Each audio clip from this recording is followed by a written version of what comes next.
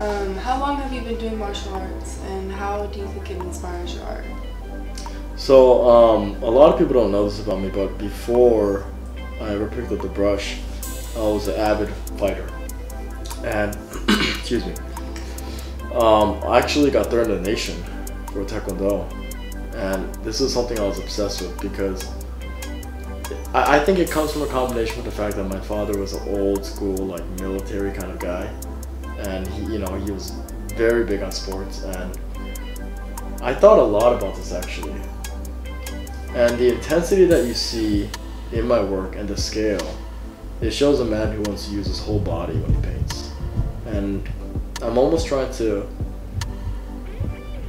channel this same spirit visually. So, my former studio before I came to New York was in Adams Morgan in DC, and it was called Ronin Studio. Now, the Ronin is a was they were wandering samurais, as most people know, but a lot of people don't know this. But the Ronin was actually this is if you look more in detail of, of their history. You know, after the feudal period, these people had no, no these warriors no longer had masters. So what most of them did is they put down the sword and they picked up the brush towards calligraphy or poetry.